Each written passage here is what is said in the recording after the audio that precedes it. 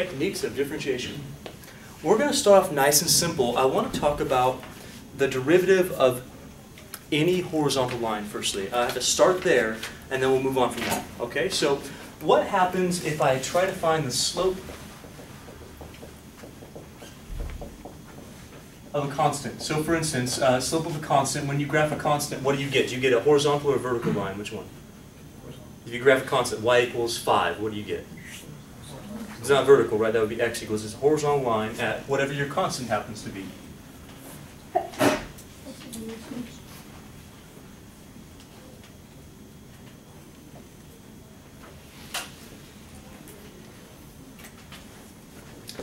So that's a constant line.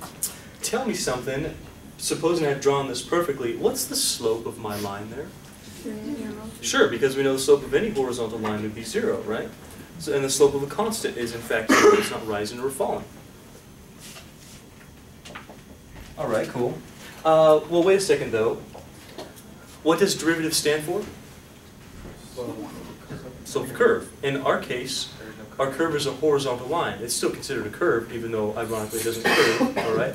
Uh, still though, if derivative means slope, you believe me that derivative means slope, right? If derivative means slope of a function, and the slope of our function is always zero no matter what, then the derivative of a constant, I've been completely general about this constant. I don't know what it is. Could be negative, positive, whatever. What's the derivative of a constant? Basically, it's asking this question. Don't forget what a derivative means. Derivative means slope. What's the slope of a constant line? Zero. Zero, sure. What's the slope of a horizontal line? Zero. The derivative of any constant is zero, no matter what. That's kind of nice. Do you believe that? Do you buy into what the reasoning why? Horizontal lines have no slope, right? Or they have a slope of zero, I should say. They have a slope of zero. Therefore, the derivative of a horizontal line must give you zero. Derivative is slope. Slope of horizontal lines are zero. Uh, constants give you horizontal lines, so the derivative of a constant is zero. That's kind of nice. So in English, this says the derivative of a constant is zero.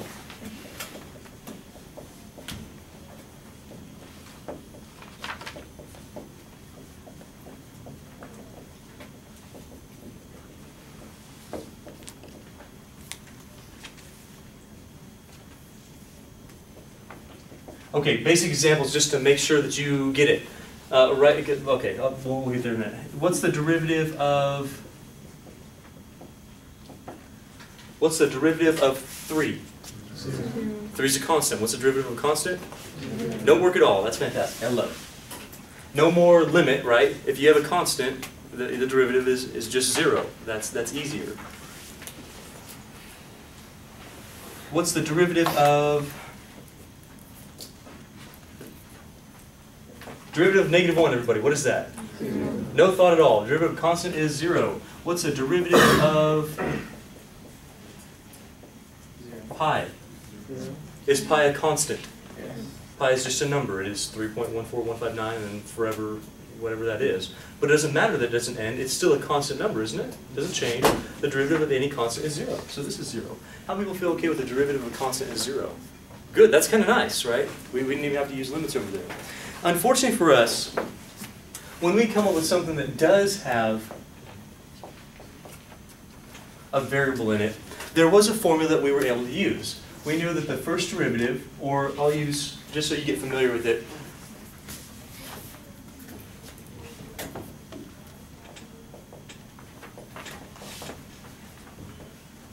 the derivative of f with respect to x, that's what that is, was, what, what did it start with?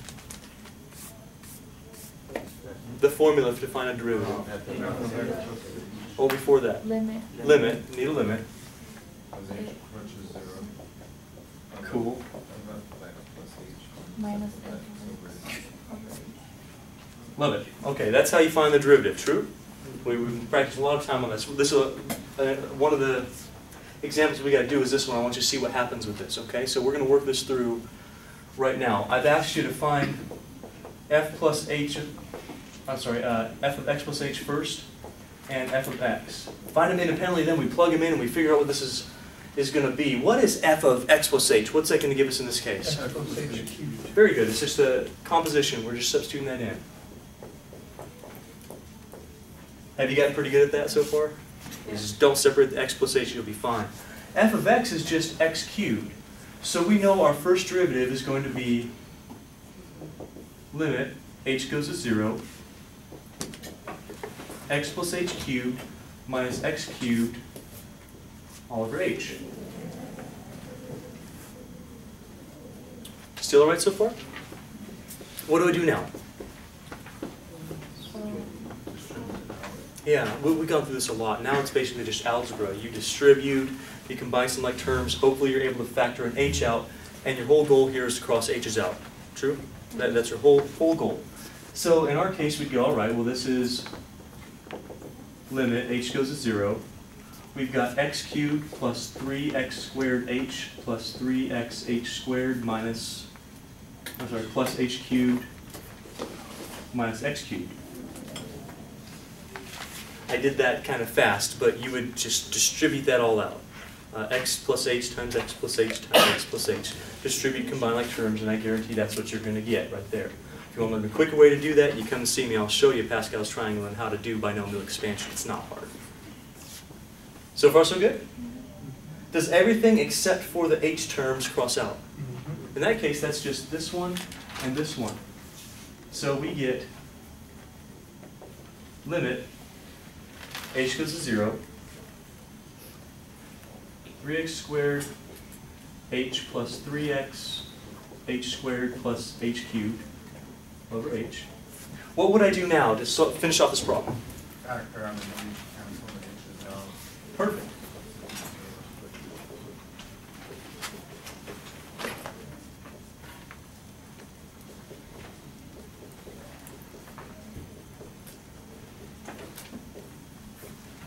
You're still with me, right? We've done work like this before, just some, some algebra, cross the h's out.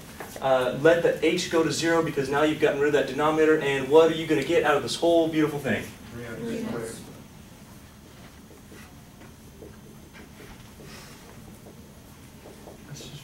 Three x squared. Right? Beautiful. What did I just find? Formula of the slope. Yeah, so this gives the slope of this function, this s-curve, at any point, right? If I had to give you a point like uh, 1, 1, or I give you a point like 2, 8, you could plug in the 2 or the, the x value, you could evaluate it, find me the actual slope, and find me the equation of tangent line of that specific point. Could you not? I hope you're like, yes, I can do that right now. That, that's where you should be at this point. Here's the thing. This is going to be from someone who hasn't taken calculus before. I want an answer. Do you see, because I know some of you have, so those of you don't love me that much, but th those of you who have not had calculus before, you're going to love me. You're going to love me. Does this suck? Yes, this sucks. I want you to think, is there a way that you can go from here to here without garbage? Do you see a pattern? Do you see the pattern on someone who hasn't had the calculus before? Uh. Where's this, where's this number go? Coefficient. What happens to this number? Goes to one. It drops by one. So from this to this, all that happened was this number went out into the front, right? And one got taken away from that number. You believe me? Yeah. Guess what? Works all the time. All the time. Do you ever have to do this again? That'd been useful. on a couple- Why do you think I teach you this one before I teach you this one? Because you won't ever do this. Yeah, you don't have to. This is the, the formula for a derivative. What we're going to learn now are shortcuts. This is horrible. Is there even a formula when you can just do that? Because this is what we're doing. This is the slope, and this is the only way that you can let this, the points, the distance between them go to zero. This is it. This right here is a shortcut that works every time. Uh, that, so what's the actual calculus? This is the actual calculus. That's it. Right? This is the stuff that works. The limit is the fundamental of the, of the calculus. That's how you let it happen. Now, techniques of differentiation says, great, we understand that. What's the way we can put this in practice and actually do the derivatives all the time? This stuff, right? Because here's the thing. Ah. You gonna wanna do that? That has to be a thirty. You wanna do that? No, no, I don't either. Because, but the, the thing that's gonna happen is, it's a polynomial, right? It's a very basic polynomial. What's gonna happen is if you do binomial expansion, every single term in here, think about this, you can think about it. Every term in here is going to have an h except for the very first one. True? The very first one is not, and you're subtracting exactly that function from it, so that's going to be gone. Everything else has an h. The very next term will have only a single h, that's binomial expansion. When you factor that h out, it, you'll be only left with this thing. Binomial expansion says how you get this is that goes there and that becomes one less. That's why this works. That is the, the power rule for derivatives. So what's calculus? This is calculus. What's the easy way to do it? That's the easy way to do it. You have to know this, because that's what we're, what this class is all about, all right? You're finding slopes, and that's how you do it. In practical application, though, you just kind of cheat a little bit. You ready to learn how to cheat? Yes. That's what I love this. I love cheating. It's not cheating. Everyone does this. If everyone does it, it makes it okay. That's not true. by the way. Really? Really? Yeah, So if everybody jumps off the bridge. Please do it. We have a shortage of food. I mean, it would be. I'm just kidding. You two on, on YouTube or where, don't jump off bridges. That's ridiculous. Sarcasm hurts sometimes. It does.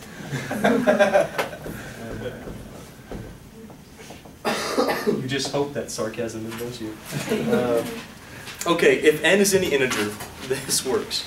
We're gonna find it later, If there's no qualifications on n, it can be anything, but for right now, any integer works for us. This is a true statement. The derivative of any x to any power is equal to.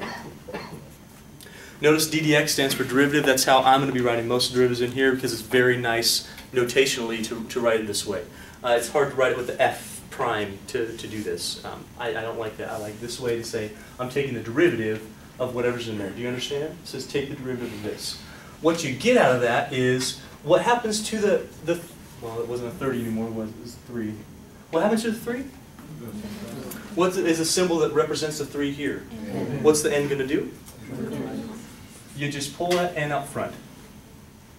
The x doesn't change, but what happens to the variable? Sure, you subtract 1 from it, that's n minus 1.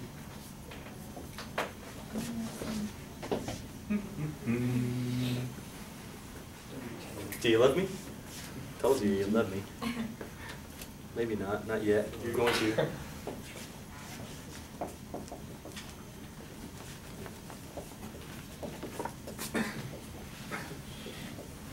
So can you do, we- we've actually done that derivative before, if you remember. We've done it twice, we've done it the long way, both with limits. Can you do that derivative? What's the derivative of x squared? That's what this question asks. Derivative of x x squared, what do you do? What happens to the 2 again? It fits this format. So 2 goes here, x to the how much? Because you're going to do 2 minus 1. Now I'm rarely going to show you that math. We're just going to assume you can subtract 1 on your own and get 2x to the first power, or just 2x. Hey, that's kind of cool because you've just found the slope of that curve in less than a, two seconds without doing any limits or anything like that, right?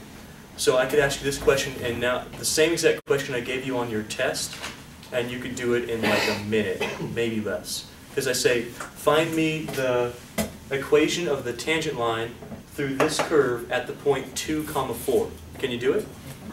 Yeah, at 2 comma 4, here's your slope, right? Plug in 2, you get a slope of 4. Now you have a point and you have the slope, it's very quick. Very, very nice. So on the test, are you ever gonna tell us to do that? Yeah, probably once to make sure you can do it. Yeah, but after that, no, it takes way too long, especially for, for things like this. I mean, honestly. That's just ridiculous. Even though it's very simple, that's ridiculous when it comes to this stuff. You don't want to expand that. You don't want to do that. I'm guessing a whole lot of you are probably not going to come to me for binomial expansion anymore, since you don't have to do those for crazy big numbers. Can you take the derivative of x to the fifth? How much is it? To the, good, we bring down the five. X to the, subtract one from that exponent, you get to the fourth power. That's the derivative. Very nice, very quick. If you did it this way, would it work out? Yes, absolutely. It's just gonna take you a whole long time.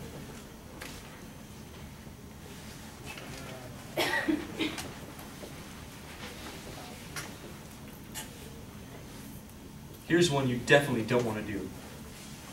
DDS of s to the 15th. Notice one thing on the notation. Do you notice how this has to change with the variable that I have? Yeah. So it's not ddx anymore, it's dds, derivative with respect to s, and then I'll give you the variable, so s to the 15th.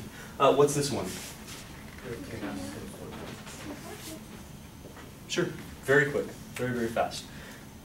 Now, there are a couple things that we, we should be able to do as well. What would happen if I gave you, did the shiny just wear off calculus? Did it make it less cool somehow, that it's easier? Or did it make it like, awesome, this is so not bad? It's gonna get worse, I mean, it's, it's gonna get worse. Thanks for the clarification. This Yeah. is the calm before the storm? Yeah, this is like the eye of the hurricane, all right? You made it through the outskirts, and now you're like, ah, it's sunny. I like this. Little mist maybe to cool you off, and then I'll pound you again later. But for right now, take a breath. Can you do it with negatives? Yeah. Of course, yes, absolutely you can. What you do with the, the negative, what's it, what's it gonna become? What's the derivative of x to the, by the way, this is showing you work, all right? You don't have to show me any more work than this. What's the derivative of x to the negative third? What happens to the negative three? So you still have to do that, negative three, x to the, wait, wait, not negative two. Negative three minus one, yeah, that's negative four. So this is negative three x to the negative four. You'd be surprised how many people mess that up, all right? Watch your signs very carefully. If you're subtracting, make sure you actually are subtracting. Um, we'll do, we'll do a couple more. How about this?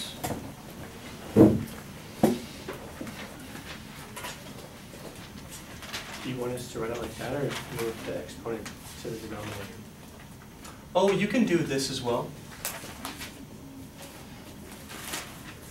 Generally, generally, I'll tell you if I've given it to you this way, leave it this way. That's fine. If I've given it to you as the other way, give it to me the other way. Okay. That's the general rule. If you want to write like this all the time, that's fine as well.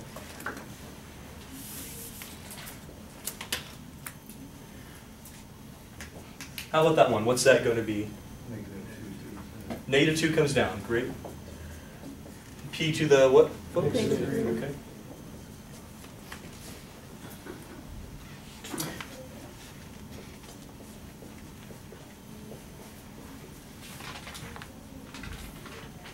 You know what, I'm gonna move this one over there so you see it better. This is kind of an important one, actually.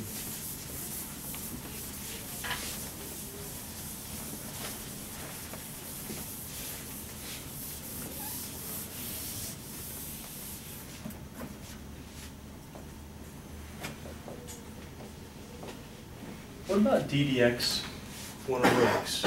Is it 1 over x, uh, sorry, 1 over, what do you do with that? Is it 1 over 1? You just take the derivative of x, can you do that? Move the x exponent in front of x, which is one up to the top. Aha. Make it a negative exponent. So we have to move this so that it fits that format. You with me? Right now it doesn't. So somehow you gotta change it to make it fit that. If we do that,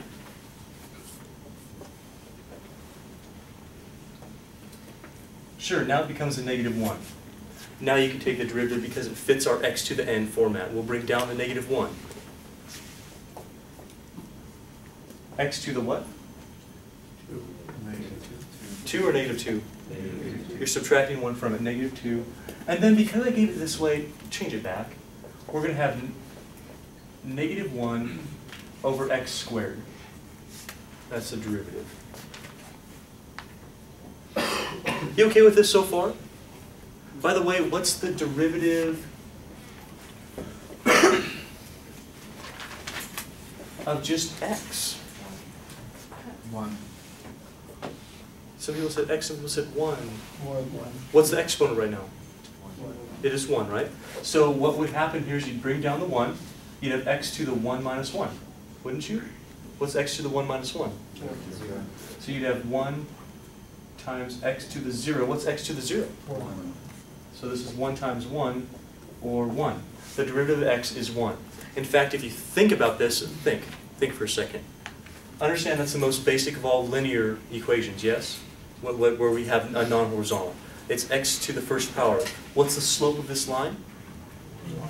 Derivative means slope, doesn't it? So the derivative would also be 1. That's, you can show it with the general power rule now. How many will feel okay so far with this? All right, another little thing we can do. It's kind of cool. This opens up a whole lot of doors for us. So, another note.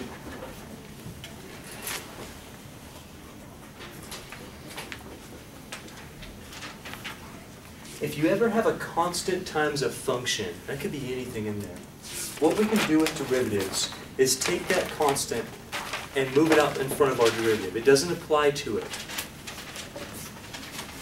So this is the same thing as c times the derivative of f of x.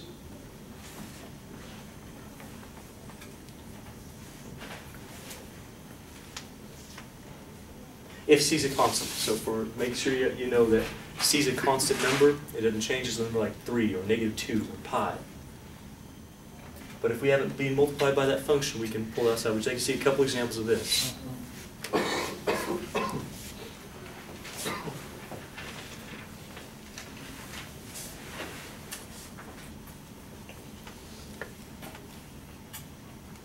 How about the derivative of 5x to the fourth power? Do I have a constant in there being multiplied by a function? Yeah, 5 is being multiplied by x to the fourth. Remember, we, we kind of want to make it fit that thing, right? Because that's, that's the only thing we know right now. So that's about it. So you know you can make this 5 times the derivative of x to the fourth. We can take that constant number and multiply it by the, the derivative of the function itself. So what's the derivative of x to the fourth power, please? Don't forget about the 5, but then you have 4x, sure, to the third power. Now you can do the 5 times 4. How much are you going to get? Twenty. Twenty-third. Yeah, sure. Now, look. Practically, can you get 20x to the third from here? Yeah. Absolutely. You bring down the 4, you multiply it times the 5, you're going to get the 20, right? Are you following me on that? Mm-hmm. Haven't out, outpaced you yet? All right, cool. If you bring down the 4, which you know you're going to be doing, multiply it by the constant term, you're going to get the 20, and then subtract 1 from the 4. You're still going to get 20x to the third power.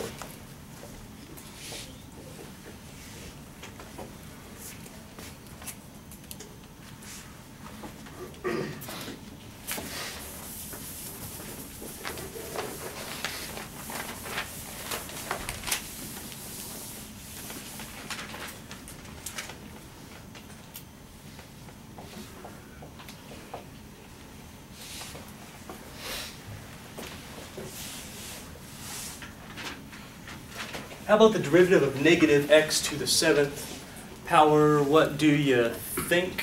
What can we do? Do we have a constant in there? Yes. So we could pull that constant out of that negative, then take the derivative of x to the seventh. Can you take the derivative of x to the seventh? Yeah. All of you should be able to at this point, right?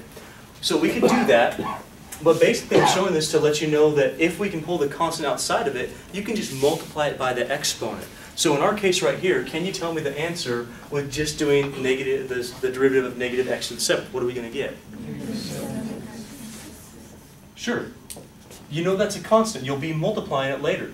Negative 1, that's a negative 1, times positive 7, that's negative 7, x to the sixth power, you're done. That's your derivative there. How about, let's do one last one.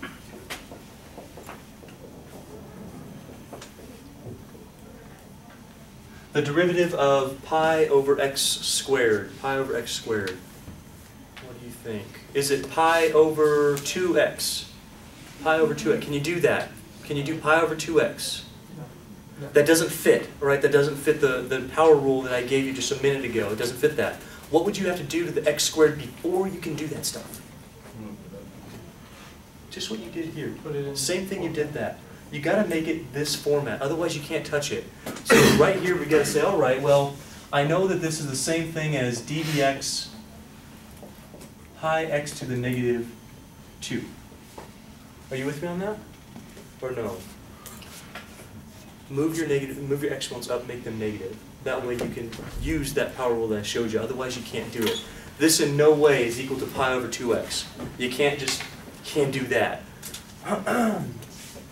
Now, what, what's next? What do you think? Large pot. We could pull out the pi if you wanted to, or you could leave it in there if you wanted to. It doesn't really matter. If you pull out the pi, you'll have pi times d dx of x to the negative 2. Now can you take the derivative of x to the negative 2? Yeah, now it fits, right? Now you can do it. You can pull down the negative 2, take 1 away from that exponent, you're going to get the negative 2x to the negative 3, and then multiply by the pi. By the way, stop for a second. You know how I told you the derivative of a constant is always 0? A lot of people ask later, well, wait, wait a second. If the derivative of a constant is always 0, why don't we get a 0 here? Why don't we do that? Well, that's actually connected to something with a variable, right? If you have a constant by itself, like the derivative of pi, that was zero. However, because we have a, a constant being connected to that, that variable, we can pull that outside by multiplication. So basically it just hangs around. It says, no, it's not zero.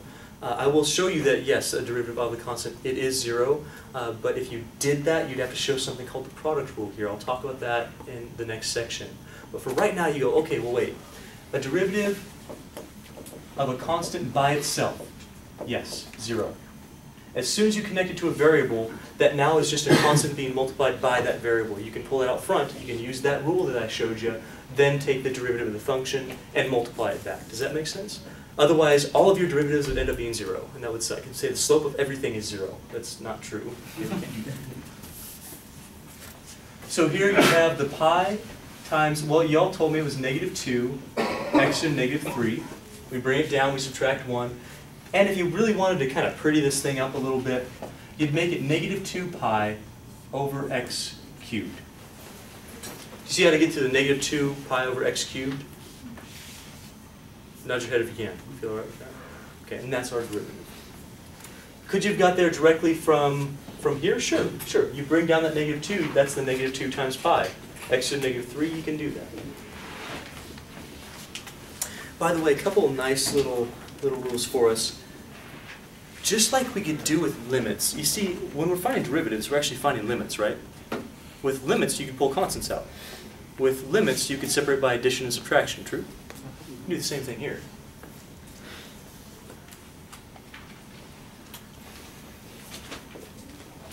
If you have the derivative of a couple functions being added or subtracted, that's the same thing as a derivative of the first function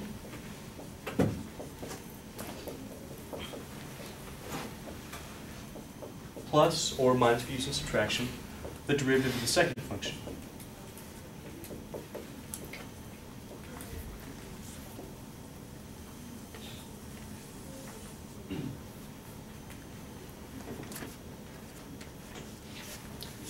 You ready to see how we can apply this to some problems? Okay, now, now check this out.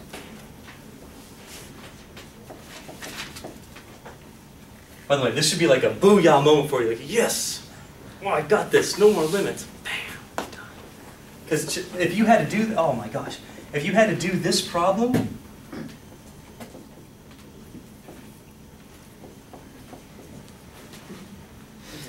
with limits, see y'all next week. I'll go home for, for four days and you can just work on that. Well, it would take a week. But it'd be pretty difficult, wouldn't it? Because remember what you'd have to do to find the derivative. You'd have x plus h and x plus h in here, and subtract that whole thing. You'd have to find some common denominators because you have this, uh, this negative exponent. You'd have some pretty nasty work to do on this thing. Very nasty work. However, using what we now know about derivatives, if we can break all this stuff up into individual functions being added or subtracted, take the derivative of each one and put them back together, we're good to go. I mean, that's not bad at all. So can I separate these two things? Okay, let's go slowly through this. I really want you to get this. Yeah, you can. You can separate addition subtraction. So this is the same thing as the derivative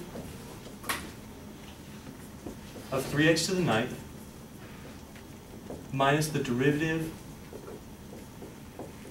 of x to the negative 3. Are you okay on that step? Tell me one thing you could do with this. Is that legal to do? Can you pull the constant out? Yes. We could do that. The constant doesn't become a zero. It's connected by that variable. Could you just take the derivative the way it is? Okay, let's, let's try that. What's the derivative of 3x to the ninth? Everybody, what is it? 27. Good. Bring it down, you're multiplying that. 3 times 9 gives you the 27. x to the eighth, sure, we're subtracting 1 from the exponent. Then I have my minus sign. What's the derivative of this one? Negative three x. Was there a three? Okay, it's going to be ultimately, yes, you're right. But since I have this minus sign right here, what's the derivative of just that piece? X to what? Good, I'm subtracting one. Remember, that's in parentheses, because I'm subtracting that whole derivative there. Minus a negative becomes a,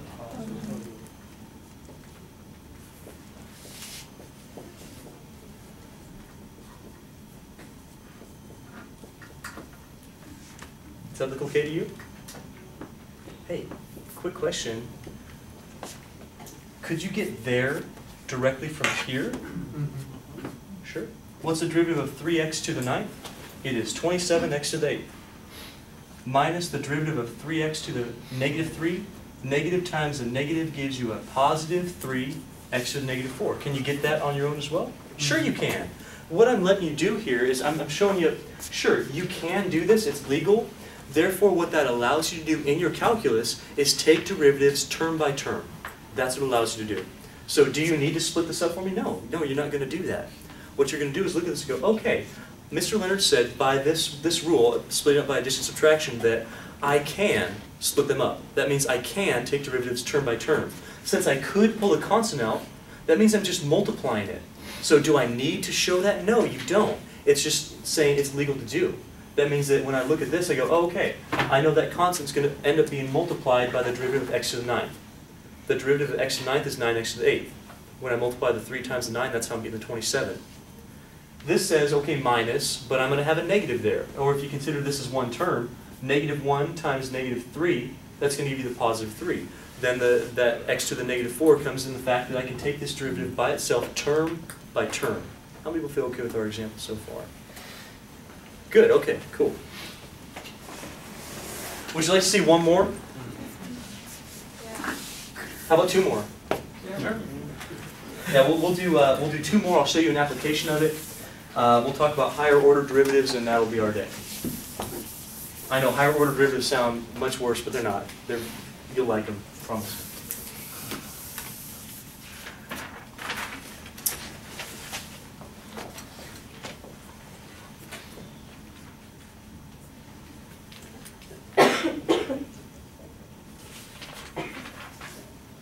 I'm going a little bit beyond this section for a reason. I want to show you that this work, this is actually true.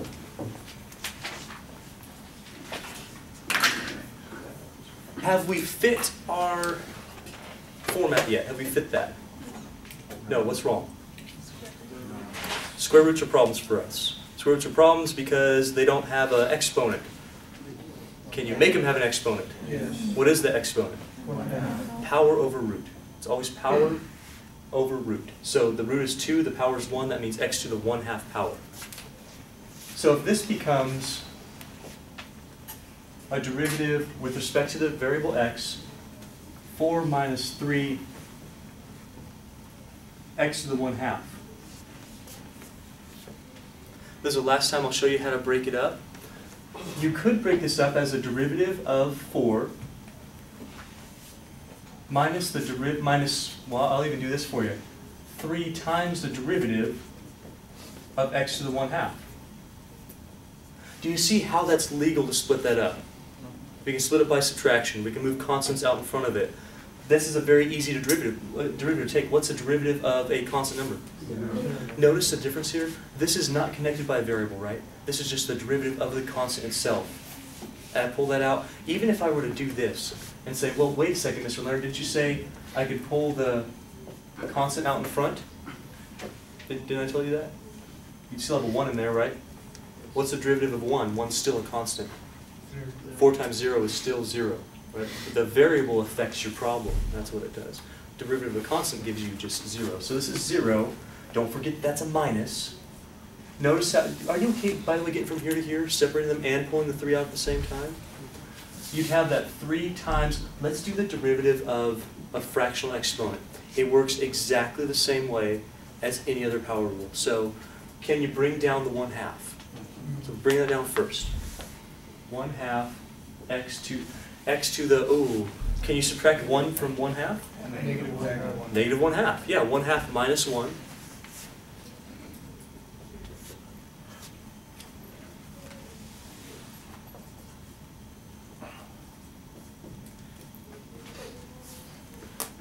So our derivative is negative 3 halves x to the negative 1 half.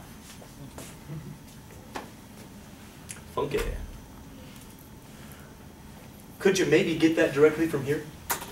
Could you get that? What happens to the 4?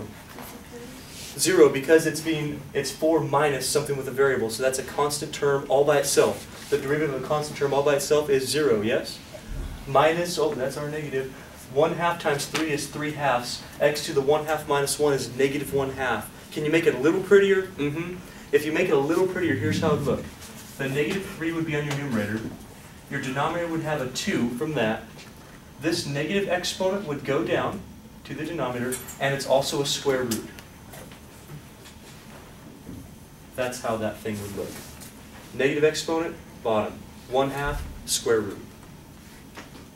Show of hands, how many feel okay with what we talked about so far? You can do this with any polynomial, anything with a, an integer in it, uh, or, and now we, you know, fractional exponents. You can do this with pretty much darn near anything that's broken up into terms. So, that means when you get a problem that looks like this,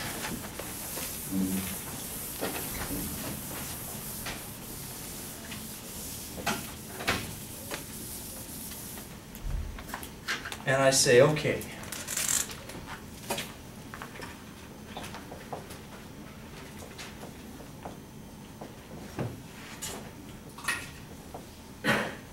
five x to the seventh minus three x to the fourth, two x cubed plus x minus one.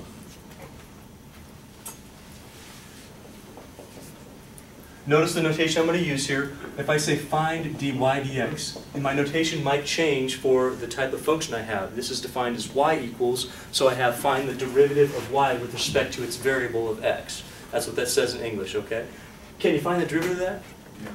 Could you have done it with limits? Yes, you could have. Would it have taken you probably a weekend? Yeah. You'd hate me. You, maybe some of you hated me on some of your homework you were doing.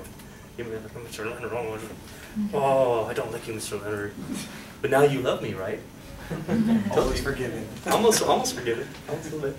Can you take the derivative real quick? Yeah, sure. Take it term by term. Do you need to split it up?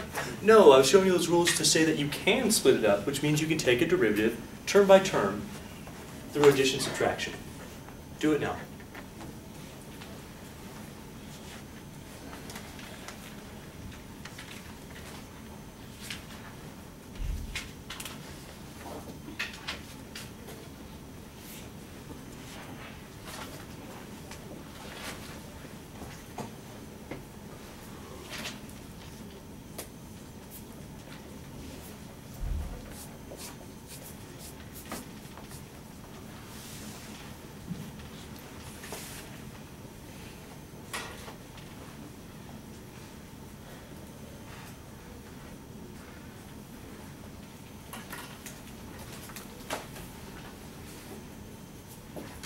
The next question asks one of the fundamental principles of calculus, one of them.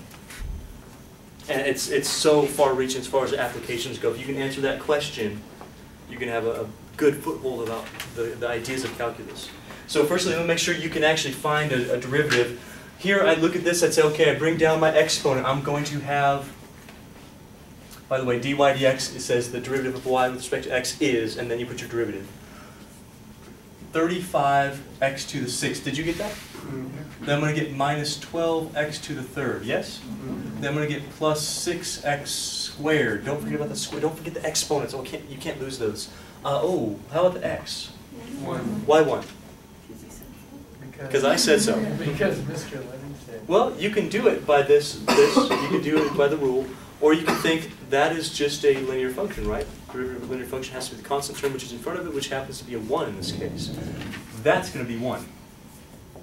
If that had been 3x, that would be a 3. What happens to the 1? This one. That's a constant, that's gone. Out of your problem. How many people made it that far? Yes, no, yes? Good, all right, cool. Now, the next one asks this. Can you, can you take this idea and apply it? At what points does y equals x cubed minus 3x plus 4 have horizontal tangent lines? Tell me something about a line that is horizontal. What do you know about a line that is horizontal? Slope of zero. Slope is how much? Zero. Okay, the slope is zero. You're all right. Horizontal tangent lines have slopes that are zero. You follow? What will give you the slope? We know derivative means slope, right? So the idea is, can you find the derivative and see where it equals zero? Because if you can find the derivative and see where it equals zero, you will have the points at which you have horizontal tangent lines. This, i you, you will find out uh, that we're going to use this in graphing for finding out the points of relative max and relative min. You ever heard of those things before? We'll be able to do that very quickly. We'll be able to optimize uh, word problems, maximization, minimization, cost functions, all sorts of things with this idea. Find a derivative, set equal to zero. That's going to give you the points that you get a horizontal tangent. We're going to uh, talk about this next. All right, so one question that we can conquer, uh, according with our, our derivatives and the idea that a derivative is a, what's a derivative again?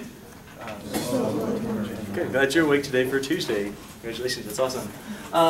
We can conquer the idea of can we find out where functions will have horizontal tangent lines? Firstly, what do you know about a line that is horizontal? Something about its slope. Slope would be zero for a horizontal line, true? So we were trying to look for lines that are horizontal to our original function, how do you find the slope of the original function? A derivative would give you slope. Yeah, absolutely. So if we found the derivative of our original function and we found out where that was equal to a slope of zero, then we're going to be able to find the points where we have a horizontal tangent line. Here's how you would do that. Number one, take your derivative of your function. Go ahead and do that now.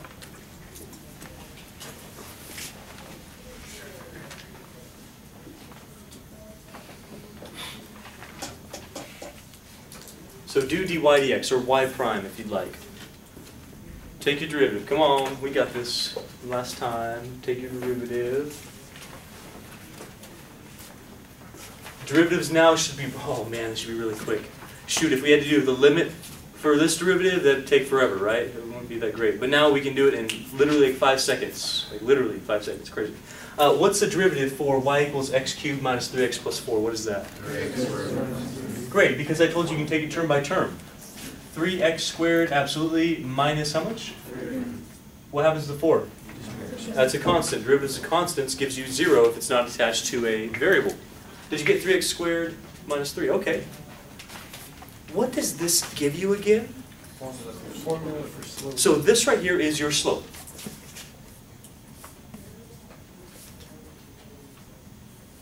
Of that curve. That's the slope of that curve. What I want to know is where this curve has tangent lines which are horizontal. What we found out earlier is that the slope of the tangent line is the slope of the curve at the point. Does that make sense? So if this is the slope of the curve at any point, and we want that slope to be zero, can you set that equal to zero? So if you set this, the idea is we want it to be horizontal, right? Horizontal means a slope of zero. So basically we want a slope, a slope of zero. Zero means horizontal. Can you do that for any slope you were looking for? Say if you wanted a slope where it equals two. Absolutely. So if I want a slope of one, I'd have it equal to one. Probably be harder to solve in this particular case, but you can do it. Yeah, this is a formula for slope, so if set it equal to whatever we want, now the idea is we're typically going to pick horizontal because interesting things happen when you have a slope equal to zero. That, that, that really does have interesting things. For instance, this. At this point up at the top, notice positive slope, positive slope, positive slope, negative slope, negative slope, negative slope. Do you see that? Therefore, at the top, it has to have a slope of zero. That would be a change from increasing to decreasing. And that would give you a relative maximum, sometimes an absolute maximum of your function. So interesting things happen there. Curves are optimized normally when you have some sort of a slope equal to zero. So this is going to be the most common question I'm going to ask of you as far as relate the slope to some number. It's typically, typically going to be zero. You follow the idea? Now can you solve that? Hey, that's just some basic algebra. So if we solved it, how might you solve it? Factor out three, you take difference of squares. You could. You could do factor 3, difference of squares, you're going to get 1 and negative 1. Do you see it? Or if you added 3, divided by 3, and took a square root, you'd still have 1 and negative 1. Do you see it either way? So either way, because when you take a square root, you have plus and minus. I like the factoring version. Sure, we get x squared minus 1 equals 0. That's 3x plus 1, x minus 1.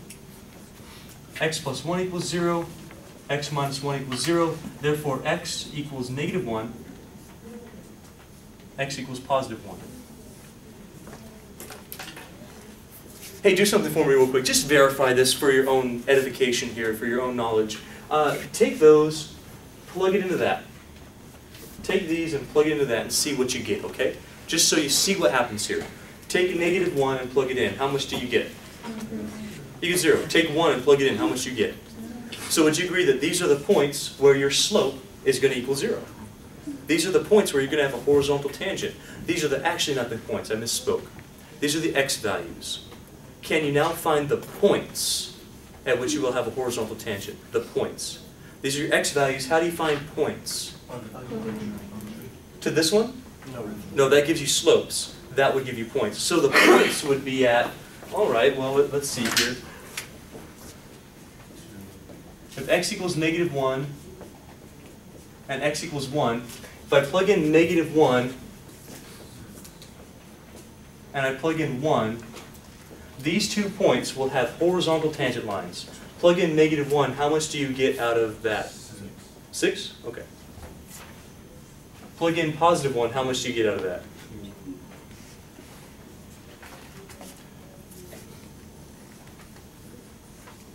Those right there are the two points where you will have horizontal tangent lines. Nowhere else. That's it.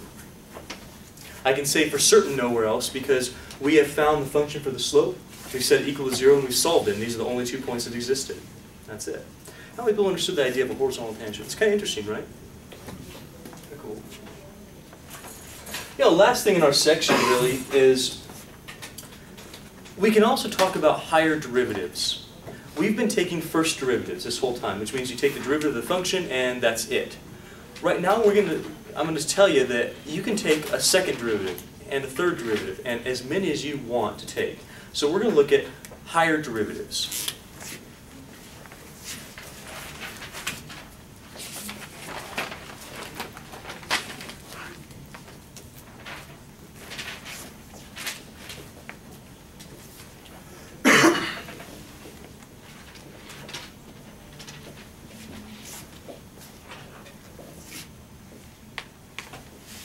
I do need to tell you the notation though, how we say, how we write out a first and a second and a third and a fourth. So here's a first derivative, second derivative, we'll talk about a third. And you can go further and further and further, however many derivatives you want to take. Our notation for a first derivative was typically this, f prime of x, you remember that one, right? Or we'd have uh, y prime, you can write y prime, or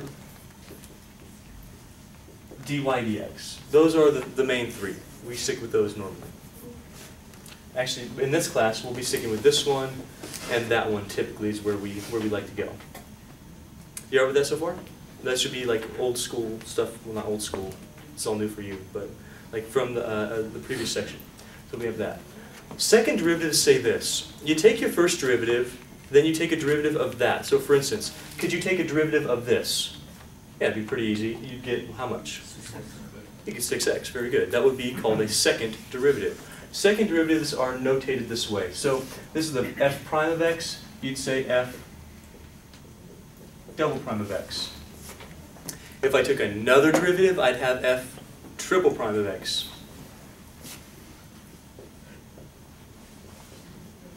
And you just keep on writing little dash marks. Uh, some people I've, I've seen put a little four up there for fourth derivative, although we rarely get to a fourth derivative, but you could. Uh, but you keep on writing those little dash marks. This is called the, the Newtonian method of, of writing um, derivatives. You see, there's these two guys, uh, Isaac Newton and Sir Godfrey Leibniz, who invented calculus about the same time. One of them was English, I think Newton was English, wasn't he? And then uh, Leibniz was German. And of course, back then the nations want to say, well, we invented calculus, this is ours. And so they kind of stuck with their own notation. And, and uh, this, this right here is the, Newton's way of doing it, he used little dots. And this is the Leibniz way of doing it. And we still have that notation to this day. So this comes from the, the German guy and this comes from the English guy, uh, how they notated it, and we still use that. And each of them have their advantages. Um, this one, I'll show you some advantages to this later on, why it's kind of nice and why I do it this way. Uh, first, because of my German heritage, you know, but then, no, I'm just kidding. Uh, because we- we actually can do some pretty cool things with this type of notation. I'll show you that, especially when we get to like differential equations, things like that.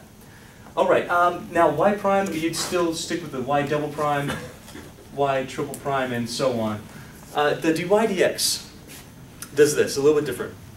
It says, okay, this is a first derivative of y with respect to x, okay, one time. This says, take a second derivative of y with respect to x both times. That's how I think of it. So you have a little 2 saying that's a second derivative. This is a third derivative with respect to x every time. So we keep on putting on another number. That's a little bit more concise than those, those little dash marks. I like that a little bit better. It looks better. You can see it more. That way, also if you're going through and you just, oh, lost one, well, that would suck, right? Because then you don't know. But it's hard to screw up a 2 and a 3. Well, maybe not. Maybe not that hard. But harder than messing up a dash mark. Are you guys okay with the, the derivative notation? First, second, third? What I'd like to do now, just for fun, can you find all of the higher derivatives of this?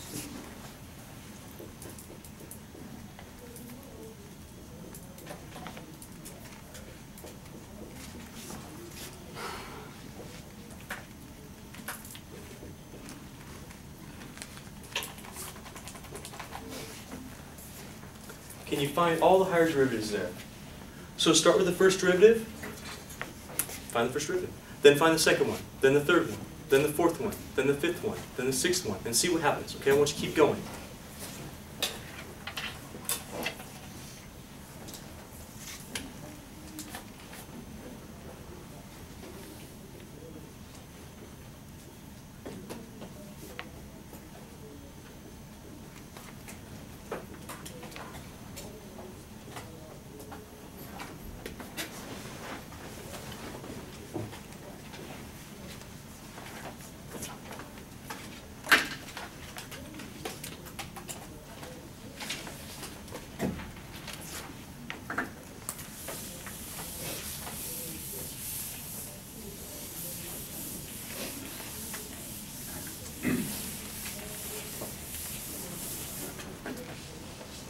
Did you find them? Are you still working on it? You Still working on it? Keep going. If not, well, let's- let's start up here. First derivative, can you please tell me what the first derivative is on this?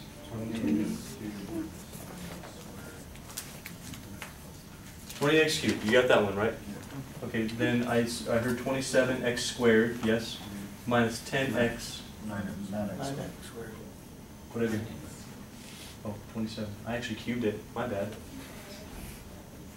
I was on this one. Shoot.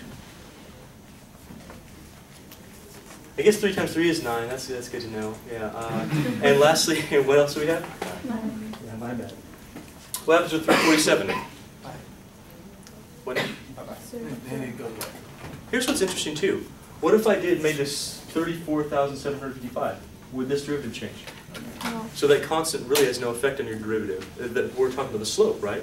So all this is is really a shift upward or downward. So if we're just shifting the whole function up or down, it doesn't affect the slope of the function. It says, oh, now it's way up here, now it's way down here. So that really doesn't affect it, which is interesting.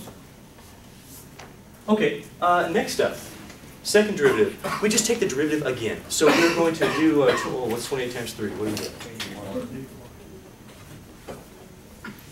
x squared minus 18x, you got that one right, minus 10. What happens to the 9? It's a constant. It goes away. Now what?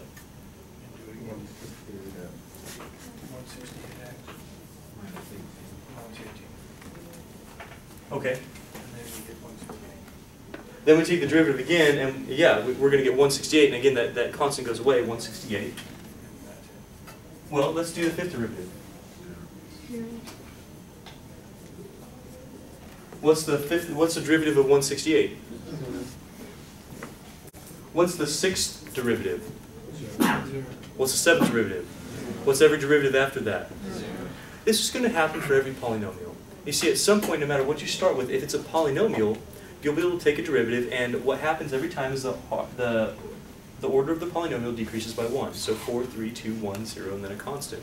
So that's going to happen with polynomials. Now, does it happen all the time? Think about something that's not a polynomial. I'll give you an example if you need one. How about that? Well, decreasing, because we subtract one, but it becomes more and more and more negative, right?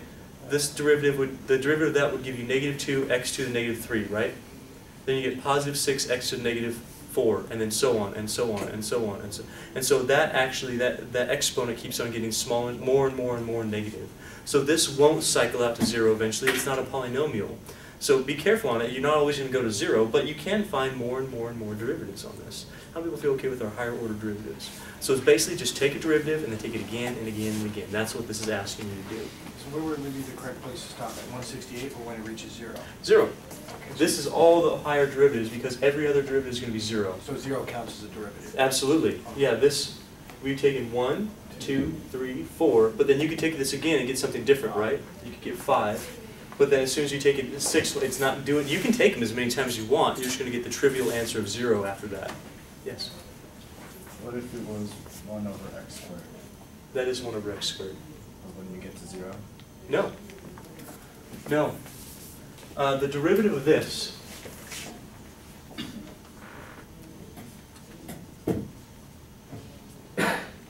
is in no way 1 over 2x at all. You're breaking the rules here. There's only one rule that we have. The one rule that we have is it must fit this format, folks. It must fit this format. If it doesn't fit that format, you can't do it. That's it. You need to be able to break it down in such a way that it does fit this format. All we can do is separate by addition, subtraction, and pull out constants. So in order to make it fit this format, we can't just say, oh, der- derivative of x squared is 2x. That would be awesome, but no, it doesn't work that way. Instead, you have to say, oh, this is the derivative of x to the negative 2. That fits that format. Do you see the difference there? You have to make it fit that. So you have to pull that negative, that exponent up and make it a negative. That way you can work with your power rule. Does that clarify your question? Okay, so we can't just take derivatives of parts of like quotients. Can't take it of parts of products. We're going to talk about those things in just a little while, but you can't just do that. You with me on this? Would you like to see one more example? Might be good for you guys to see this one.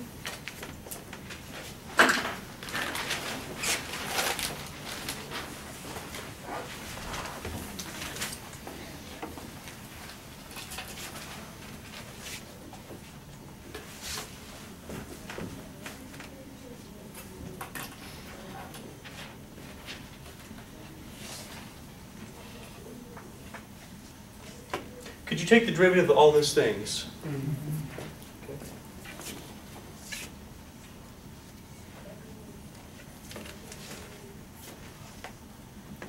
Could you take the derivative of this thing?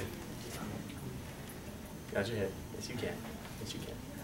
Can you take a derivative altogether? no, not the way it is right now. Let me show you a couple things about this problem. Number one, well, you probably are going to want to make this x to the fifth minus 2x minus 3 all over 3x to the 1 half. Do you see what we did there? You okay with that? That's okay. That's great. That's fine. But here's what you cannot do. This is going to go back to our previous problem. What you can't do, folks, you can't do this. I wish you could, but you can't. You can't go, oh, you know what? This is 5x to the fourth minus 2x over 3 halves x to the negative 1 half. Do you see what I did? I took derivative, derivative, derivative, derivative. Can you do that? No. No, you can't. They're, they're connected, they're in, they're in a quotient. We're going to find out later you can't do that. You can't do that one. If you want to write that down, cross it out. If you wrote it down, cross it out. You can't just take it piece by piece if they're connected. You have to be able to separate them completely and take a derivative uh, by, term by term. You can't do that here. You see, you can't separate this and have its own derivative, minus its own derivative, own derivative, and then have it over another derivative. That's something we can't do. We can't do that. So what we would have, oh, give me another option. What could I do? Whenever I have some expression over one single term, what could I do? I can't move that up. I don't want to do that. What can I do when I, whenever I have one ex, uh, several expression, several terms over one single factor, Split single it. What now? Split it up over the. Let's split it up. So sometimes these, these daunting looking uh, derivatives that you need to do, what would happen if I did split this up as x to the fifth over this, minus 2x over this, 3 over that? Let's see what happens there. Then maybe we'll make it fit into our, our scenario that we can work with. Firstly, are you okay that this doesn't work, as a matter of fact? You can't just take all these pieces if we have a quotient or a product or something crazy. The only time we ever found out that that did work was this, look.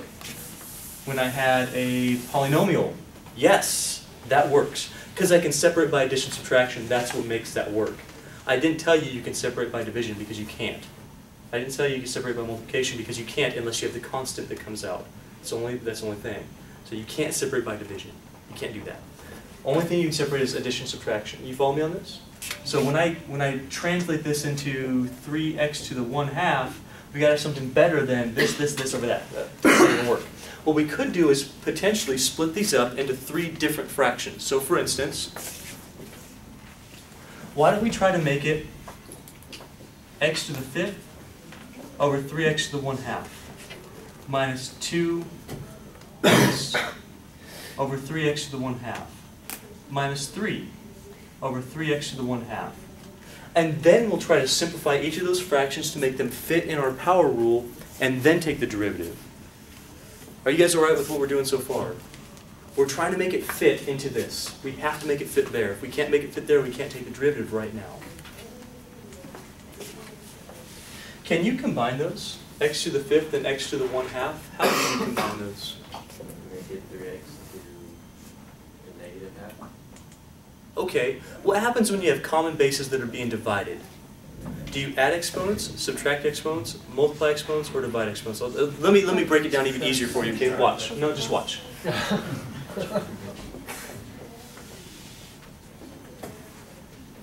There. Can you simplify that? Yeah. Please goodness, say yes. Please say yes, Mr. Leonard. I know how, to, I'm, a, I'm supposed to be in this class. Yay. How do you simplify this?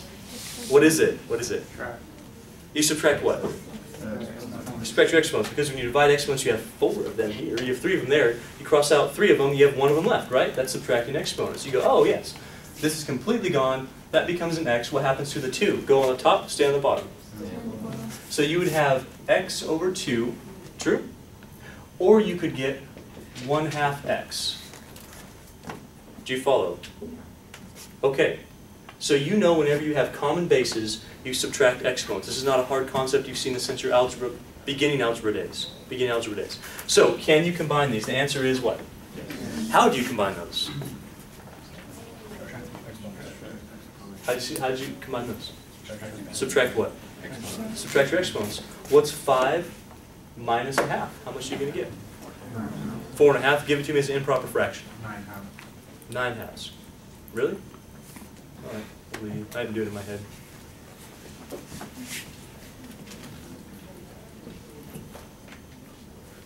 Yeah, 9 halves.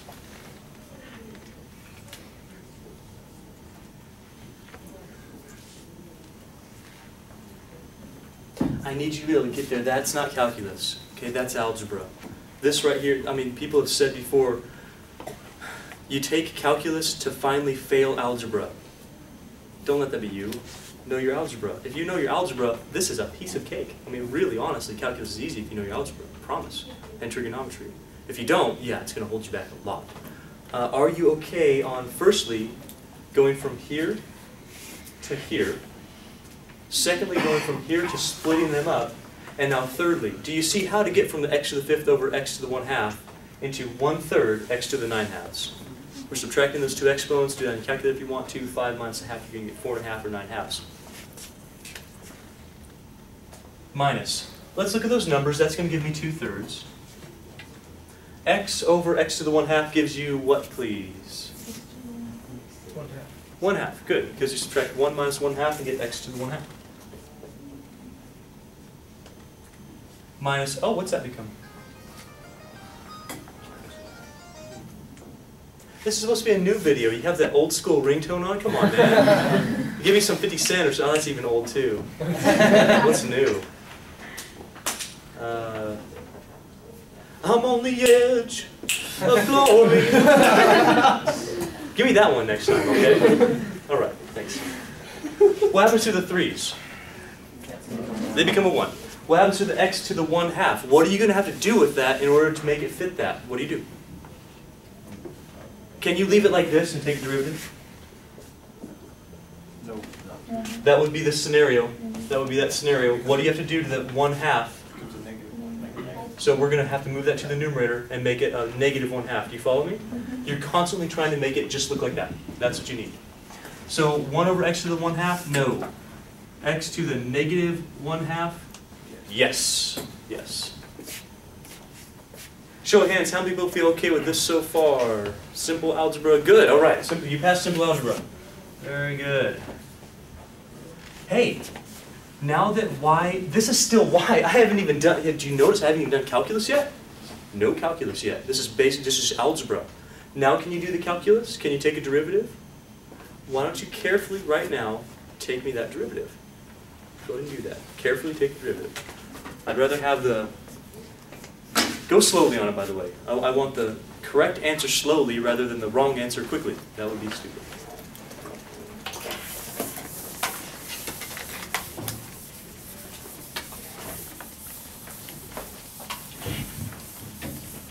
Was that Lady Goo Goo, by the way?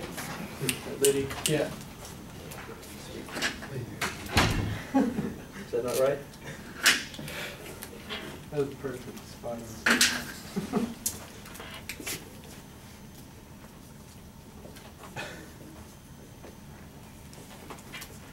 So dy dx or y prime if you'd like.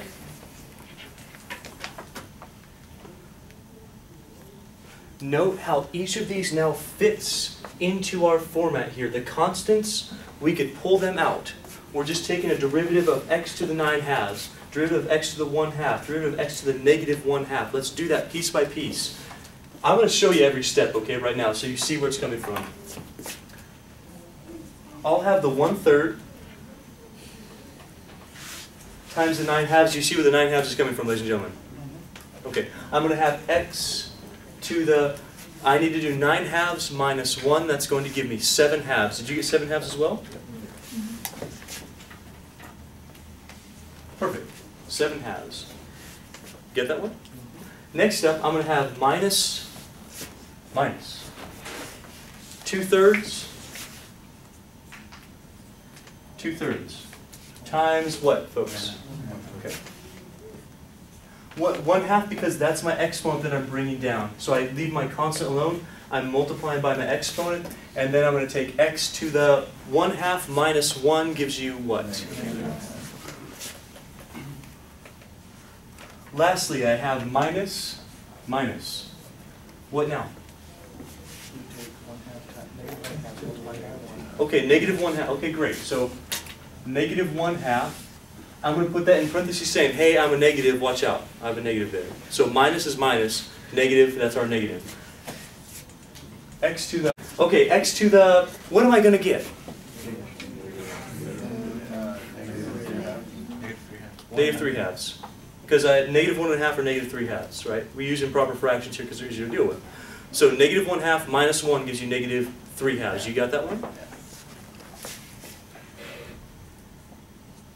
Show of hands, how many would feel okay with getting that far on our problem? Right. Let's make it a little bit prettier. Simplify some fractions.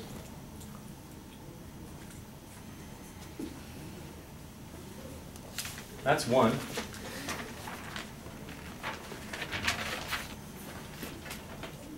That's two.